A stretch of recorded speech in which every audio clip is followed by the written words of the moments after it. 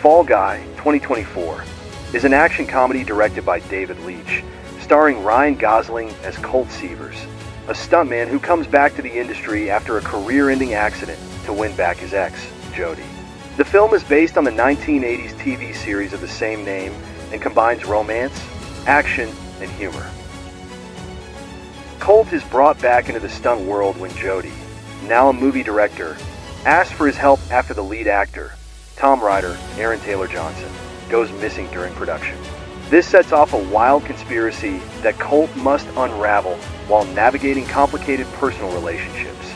The film includes intense stunts, like a record-breaking cannon roll, and serves as a celebration of the unsung heroes of the stunt world.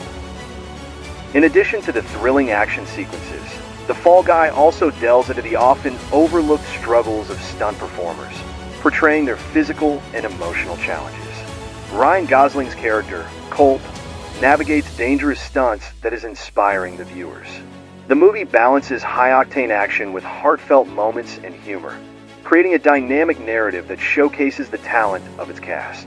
The film also explores themes of resilience and redemption within the stunt community, offering a refreshing break from CGI-heavy blockbusters.